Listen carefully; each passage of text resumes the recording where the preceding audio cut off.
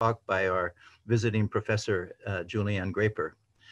Uh, in order to uh, just give you a little introduction to um, the DERT project, uh, I have on hand here a, a very nice um, uh, PowerPoint that was prepared by uh, one of my colleagues, Professor Sue Tuohy. And so um, let me um, let me bring that up. Uh, so let's just uh, just a few slides here, which will be an efficient way to um, to get us uh, acquainted a little bit with the Diverse Environmentalism's research team, DERT. Uh, and as you can see here, we find ourselves uh, at the intersection of expressive culture, the environment, and ecological change. And this is an initiative that comes uh, straight out of our Department of Folklore and Ethnomusicology. Uh, the DERT project highlights the diverse environmentalisms of groups throughout the world, the diverse systems of belief and practice that shape the ways people conceive of, interact with, and manage their surroundings. And here's just a little summary of some, some of the things that we've been up to over the last uh, few years. Uh, we had an academic symposium here back in uh, March of 2017, and you can see over here to the right, upper right, the wonderful assembly of erudite people that uh, participated in, uh, in the symposium. We've done a number of sponsored talks, performances, and academic panels. We have designed new courses, some of which uh, you, uh, the students in our group here, uh, probably have already experienced. Uh, we have created museum exhibits and music videos. We have promoted individual and collaborative research. And we have in press at the University of Illinois, Performing Environmentalisms, Expressive Culture and Ecological Change, which is a collection of papers uh, produced out of our symposium uh, and of course expanded uh, from those drafts. Uh, so you can see we've been active here and there. For more information, uh, we have our website here, so you can look that up, DERT Indiana. And if you would like to be on, on the DERT e-distribution list, and receive notices of upcoming events, you can send an email to our DERT graduate assistant who is present today. I noticed Isaiah is here, Isaiah Green, and there is Isaiah's email connection. Okay, so uh, before I uh, get get uh, to introducing Julianne, just let me express a, a word of thanks to the COLCOM that is the in the Department of Folklore and Ethnomusicology, Fernando and Barbara in particular. Also, uh, a, a, word of thanks to, Michelle, uh, been helpful in uh, organizing this event. And uh, furthermore, uh, uh, I'd like to acknowledge the work that Isaiah is doing with us and with the DERT project. All right. Well, let me just briefly introduce our speaker so we can get on with uh, what she has to. So we have uh, Dr. Julianne Graper. She comes to us from the University of Texas, which is a wonderful place, by the way. Happens to be my uh, alma mater, the place that where I uh, my PhD a little while back, and uh, her uh, dissertation which is a very fresh one, uh, just 2019, uh, is uh, entitled Bat People, Multi-Species Ethnography in Austin TX and Chiapas MX, Austin, Texas and Chiapas, Mexico. She also has a master's degree from the University of Oregon, where I noticed that she has worked with Nueva Trova Cubana, which is probably not a topic that we'll hear very much about today, but Juliana, I would like to talk to you about that topic another time. And I'm I'm imagining that you might have worked with our um, uh, our friend and former student Juan Eduardo, and it wouldn't surprise me. And uh, uh, Julianne has her bachelor's degree from Whitman College in biology. So it's uh, surely a useful foundation for the the work that uh, that that she's doing now. Freshly minted, uh, Julianne has already published uh, chapters in some uh, very significant collections of, of essays. Uh, she's done some translations of South American, Latin American, or let's say Spanish American uh, work, and that's an extremely important function to make a connection across uh, the Americas in this way. And um, and she's done book reviews as well. Although I don't view in the Journal of Folklore Research reviews, so that's something that we'll have to remedy uh, going forward. So uh, Julianne's work troubles the nature-culture divide, and ultimately asks the question: What does it mean to be human? So let's get into a little bit of that today. Our talk today is uh, titled Bats in the Human Animal Borderlands. Without further ado, and normally we would all be applauding, so why don't we all applaud Julianne and welcome her. And thank you, Julianne, for uh, sharing your work with us today. Great, thank you so much for the introduction and for having me here to talk about this stuff. I'm excited. Um, also, thank you so much for being on the internet when it's beautiful outside. Hopefully we won't we won't be too long, um, and then everyone can get back to doing that. Um, I'm going to go ahead and share my screen. Okay.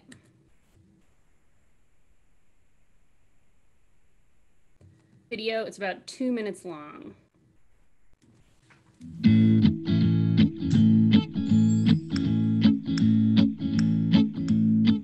Eating a bat calls the Chinese flu, but don't knock it if you try it, is my message to you. I eat them flying rodents and I get a lot of flack, but once you go bat, you never go back. You may think I'm some sort of ghoul, but I'm just a man who's a bat eating fool. I eat that bat all over this town. You can find me sleeping, hanging upside down. I like Earl Scruggs, but I prefer Lester Flatt. I like a T-bone steak, but I love me a bat. I never was much of a heavy metal dude, but me and Ozzy Osbourne got the same taste in food.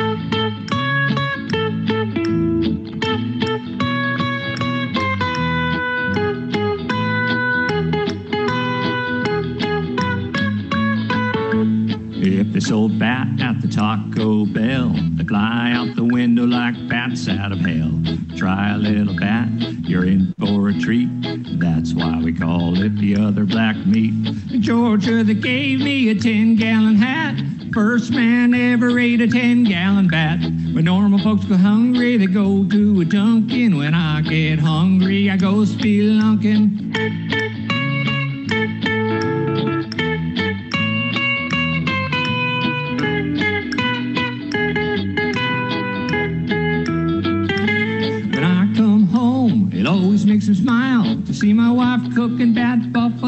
Style. She batters it up, if you pardon the pun, with some coleslaw on a sesame bun. With all this trouble, I won't eat a bat, so that should answer how I got so fat.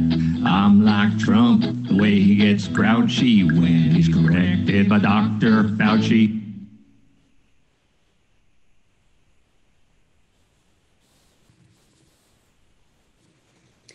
Video, posted to YouTube on March 29th, comedian Norm MacDonald addresses the theory that the COVID 19 pandemic was caused as a result of bushmeat eating practices in China.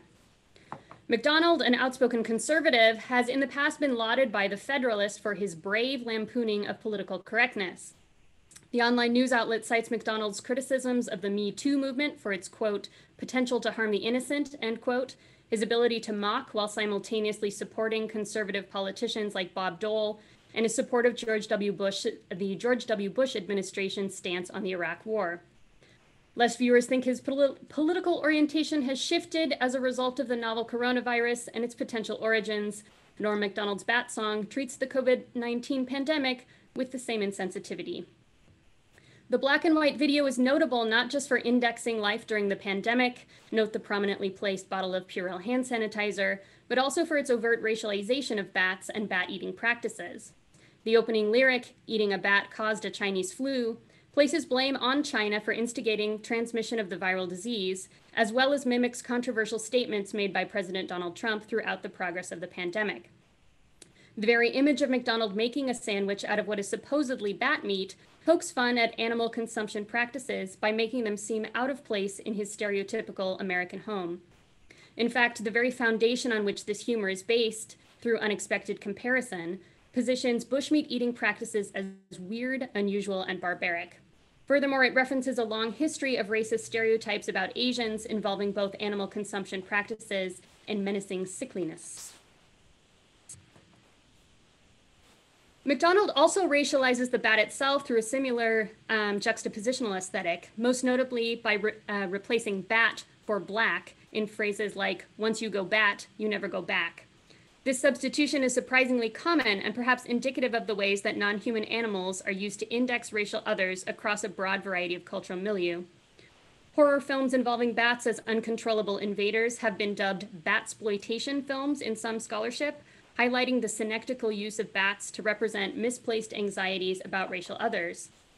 During my dissertation fieldwork, I interviewed Bevis Griffin, the self proclaimed Black Rock Maverick of Texas, who cited a passage in a book which used the term bat as a racial slur as one of the inspirations for his self consciously critical 1980s band, The Bats.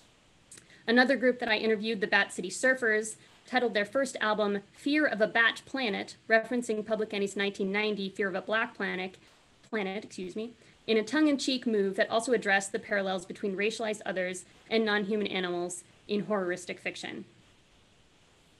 The use of bats to represent racial others has a long history in Western culture, tracing to representations of Lucifer in biblical paintings, as well as colonial fictions represented in vampire literature. The COVID 19 pandemic, however, demonstrates a shift in such racialization, moving away from metaphorical comparison to blame based on animal consumption practices.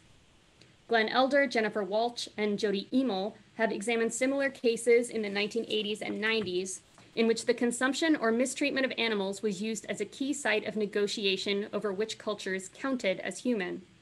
Practices deemed barbaric, ranging from dogfighting to ritual sacrifice in Santeria, were used as excuses for overt discrimination, as plaintiffs decried animal cruelty without examining similarly cruel practices common, if not pervasive, in Western culture.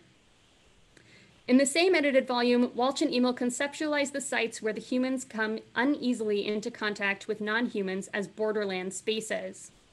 Nowhere are these borderland spaces more visible than in the geographies of the COVID 19 pandemic. Zoonotic diseases, passed from non humans to humans, irreparably trouble the existence of species boundaries, questioning the physical delimitations of human bodies and, by extension, human personhood. In this talk, I will briefly address some theoretical considerations regarding the function of bats in destabilizing that boundary, drawing from some of my dissertation fieldwork in Austin, Texas.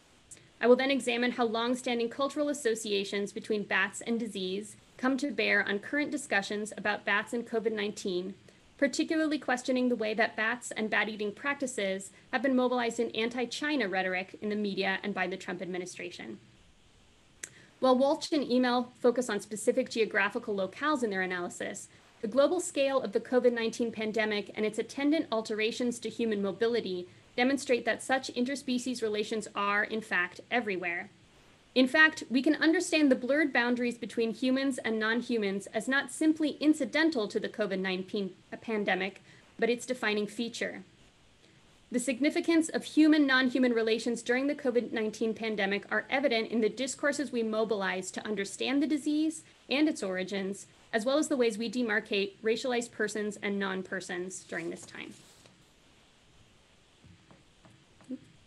Ah. Understanding the emergence of bat human discourses in the COVID 19 era relies on understanding their historical roots.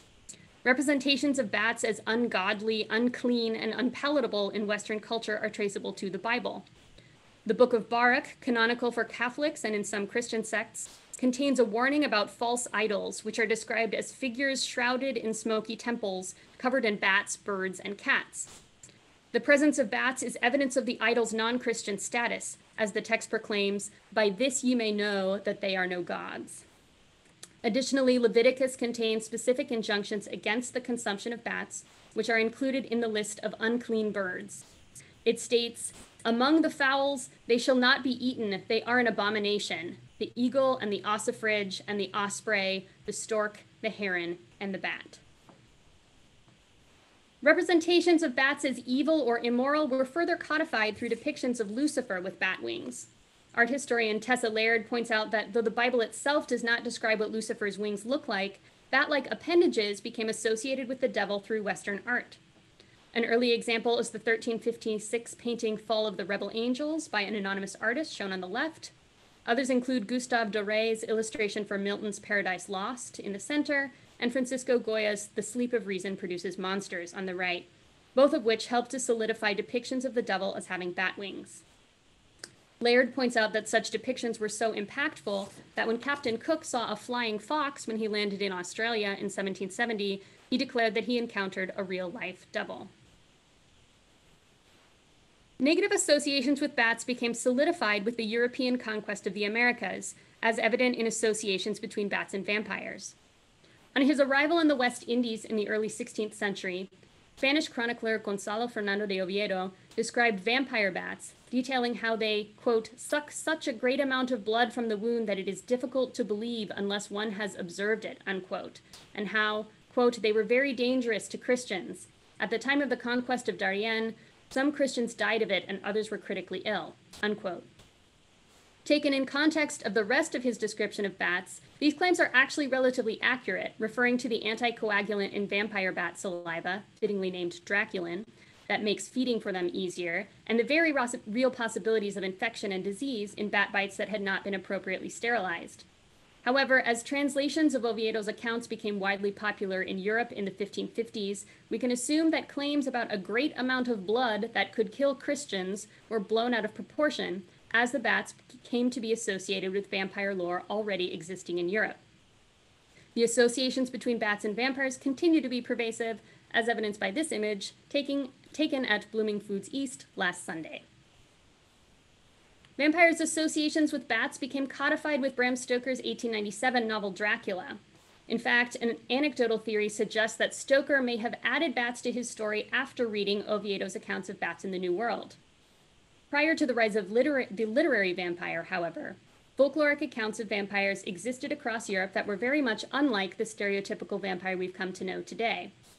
While some accounts do involve shape shifting, it is more often in the form of a dog or a cat, and can even include animals as wide ranging as a wolf, horse, donkey, frog, or butterfly.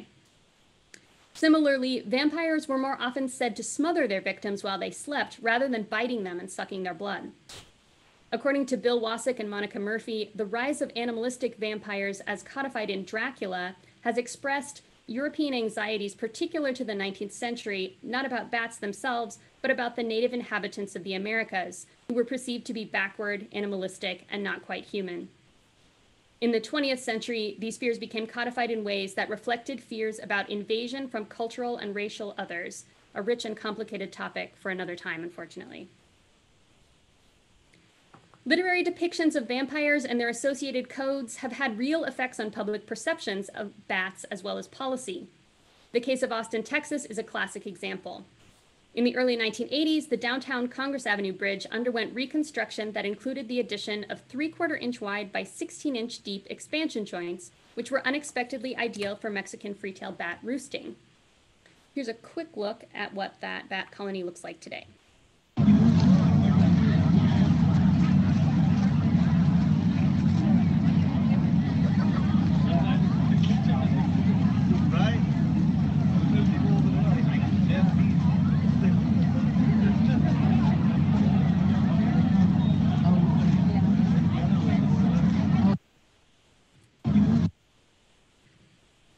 By 1984, hundreds of thousands of bats had colonized the Congress Avenue Bridge, leading to public outcry. Petitions were circulated to eradicate the colony, local officials declared a public health crisis, and newspapers ran headlines with sensational language that mimicked the language of vampire stories and horror films. Bat colonies sink teeth into city, and mass fear in the air as bats invade Austin. Like the horror tropes that they were derived from, Austinites' fears of invading bats reflected racial prejudices, particularly against immigrants. It is no accident that immigration reform became a major topic in the US politics of the early 1980s, precisely at the time that these cultural depictions and their real life counterparts came to the surface. Anat Singh has demonstrated a similar phenomenon with so called Africanized bees, which were not only described using racialized language in public media, but attempts were made to physically bar them from entering the country by the U.S. Department of Agriculture's construction of a barrier across the Texas Mexico border. Singh describes a combination of, quote, fears of Mexican immigrants creeping over inadequately patrolled borders and fears of black white racial miscegenation, end quote. Unlike many other cases, the story of Austin's bridge bats is, has a happy ending, largely due to the efforts of biologist Merlin Tuttle and his organization Bat Conservation International. The city now generates an estimated $12 million annual income through ecotourism from visitors coming to see the bats. Images of bats are now featured on purchasable souvenirs, the facade of music venues, and posters. The official drink of Austin, determined in an annual competition as a part of the city's summer Bat Fest, is the Batini. And in the late 1980s, Mayor Lee Cooke declared Austin the Bat Capital of America. Gothic stories have had real life effects on our understanding of medical issues as well. Sari Altschuler has demonstrated the impact of Gothic narratives both on uh, describing pandemic diseases and on the medical practices that ensued. Beginning with Justus Hecker's 1832 work, The Black Death in the 14th Century, which sparked the use of historical pandemics as tools for understanding pre- present day health issues, Altschuler describes how literary genre conventions, in particular avoiding the description of particular bodily functions, impacted Victorian understandings of how disease was transmitted, and as a result, the actions that were taken to mitigate its spread. These approaches have formed the basis of how global health policies are currently enacted. Nancy Tomes has also demonstrated a continuity between periods of germ panic and periods of increased anxiety over immigration in the United States that mimic Austin's fears about invading bats. Charting concerns over germs from 1900 to 1940 and in the 80s and 90s, Tomes claims that, quote, both germ panics coincided with periods of heavy immigration to the United States of groups perceived as alien and difficult to assimilate, and that they reflected anxieties about so, uh, societal incorporation associated with expanding markets, transportation networks, and mass immigration, end quote. As with bats, cultural fears about invading others were expressed through non human others. However, as we've already seen, Associations between bats, disease, and invasion are not simply parallel narratives, but are rooted in pre existing cultural narratives. The reach of these narratives is expansive. Bats have been blamed for diseases ranging from Ebola, SARS, MERS, rabies, Nipah virus, hantavirus, and more recently, COVID 19. At this time, claims that bats are the origin of COVID 19 remain in the realm of speculation. No patient zero has been identified, and as such, the origins of the virus remain unclear. Some sources suggest that the virus jumped to humans from an intermediate source, most likely a pangolin, while others suggest that the virus could have entered humans as a harmless microbe and mutated while there. Still, others suggest the possibility of livestock as potential hosts. As with Ebola, Researchers look to bats as a potential origin of the novel coronavirus based on existing research that bats have been known to harbor coronaviruses, plural. Researchers do agree that the virus originated in an animal host and that an ancestral form of the virus probably developed in bats. However, to date, SARS CoV 2 virus itself has not been isolated in bats. Instead, scientists have only identified a highly genetically similar coronavirus in bats. Genetic similarity does not mean the same virus, however. As a reference, Bat Conservation Trust Conservation Services head Lisa Worledge points out that human beings and chimpanzees are 96% similar genetically, and yet we are completely different animals. Conservationists claim that disproportionate sampling of bats as disease hosts are largely to blame for the overemphasis on bats in the media, in an op ed written in late March, Merlin Tuttle pointed out that in some studies examining potential sources of the SARS pandemic, bats were sampled nearly twice as much as other species. Additionally, because bats are easy to sample in large numbers, they are attractive experimental subjects because scientists are able to publish their results more quickly. The number of epidemiological studies on bats propagates exponentially as scientists seek out species that they think are likely to, to transmit the disease based on the results of previous studies. Additionally, the claim that bats can be asymptomatic carriers of disease is based on erroneous findings. A study conducted in the 1950s examined rabies transmission from infected bats to mice. The bats showed no symptoms, but the mice died, leading to the supposition that bats could be disease carriers without actually falling ill. However, it was later uncovered that the bats had not had rabies at all, but rather a kind of Rio Bravo virus that is deadly to mice but harmless to both bats and humans. While bats can carry rabies and, like other wild animals, should not be handled except by a professional, they have no higher instances of rabies than other urban wildlife. Nonetheless, they've become the poster children for rabies. The assumption that bats can be asymptomatic carriers of diseases like rabies has led to speculation about why bats can carry diseases like coronaviruses without getting sick. Some scientists claiming that their higher internal body temperature helps them to combat disease more effectively than humans. However, such claims remain hotly debated among scientists. Similarly, bats have been conflated with other diseases and their attendant racist connotations. Sarah Monson describes how Ebola, another disease attributed to the consumption of bats, was manipulated in mainstream media to reflect and encourage otherized thinking about Africans, particularly through accusations about eating bats. The Ebola epidemic demonstrated a cultural double standard that led to racial blaming of Africans as the cause of the epidemic. Monson cites a cover story by Newsweek that portrays African bushmeat as a potential Ebola carrier and a threat to the United States. It was criticized, quote, for both its racializing associations of primates with Africans and its depiction of bushmeat, a West African delicacy, which the article calls a cultural touchstone. Monson claims, quote, Americans also consume bushmeat but call it venison and game, referring to the consumption of bushmeat as a cultural, as cultural, but framing as exotic, dirty, devious, and other perpetuates the dark continent myth of Africa and reinforces xenophobia towards Africans and African immigrants, end quote. Monson's work reinforces claims made by cultural geographers Glenn Elder, Jennifer Wolch, and Jody Emel, who claim that, quote, Conflicts over animal practices, rooted in deep seated cultural beliefs and social norms, fuel ongoing efforts to racialize and devalue certain groups of immigrants. Animal practices have thus become tools of a cultural imperialism designed to delegitimize subjectivity and citizenship of immigrants under time space conditions of postmodernity and social relations of postcoloniality. End quote. Such racialization became even more obvious in the COVID 19 pandemic as theories about disease originating in a Wuhan wild animal market emerged.